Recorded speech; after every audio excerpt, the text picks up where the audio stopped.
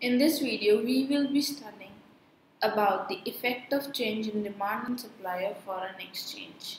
Now, let's study number one an increase in demand. Now, this is your demand, uh, this is your graph. Here you take the demand and supply of US dollar. Let's say and here you are taking the exchange rate for which you get of rupees upon US dollar which means at which rate you can exchange your rupee to a dollar. So this was the initial demand. This was the initial supply and this was the rate of exchange and the quantity which was required and this was the rate of exchange. Now let's suppose if the demand of your US dollar increased this was your DD curve this is your supply curve and if the demand of your US dollar increase that is your do the demand curve has shifted rightwards. This is an increase in the demand. Now what will happen? The new equilibrium is restored here where your demand is equal to supply. So your demand is increased from quantity 1 to quantity 2 so now your exchange rate has increased to rupees 1 r1 so which means if we talk about numerically which means before your 1 US dollar was exchanged for let's say rupees 40 but now your 1 US dollar is exchanged for rupees 48 right?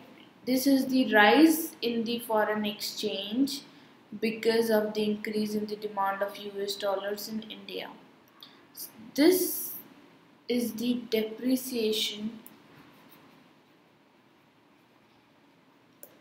of rupee against dollar.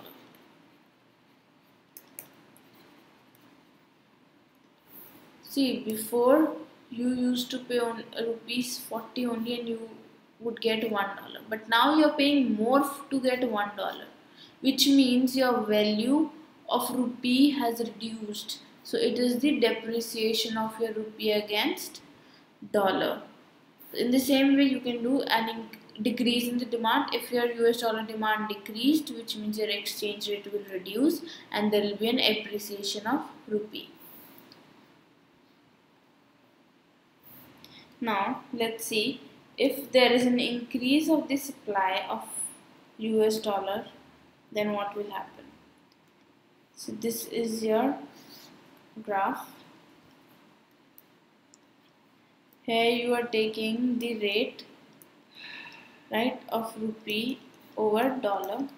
Here you are taking the demand and supply of dollar in India. Dollar right? This is your demand curve. This is your supply curve. And this was your equilibrium rate and quantity. This is your demand curve. This is your supply curve. Now they've said that there is an increase in the supply curve which means if there is increase in the supply curve then there is rightward shift of the supply. See your supply is more than the demand. What will happen now? Supply of US dollars more than the demand. So this will be the quantity 1 and this is the new rate R1 that is restored. That is your rate exchange rate has reduced before you used to exchange one dollar for rupees 40 now you can exchange one dollar for rupees 35 which means before you had to pay more rupees for one dollar now you are paying less rupees for one dollar. It means that there is an appreciation of rupee against dollar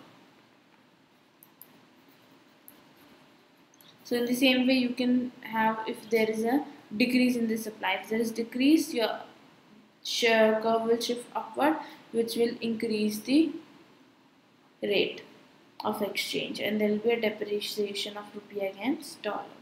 So I think you have completely understood the change in the demand and supply of foreign exchange do download our scholars learning app and enjoy the learning experience with us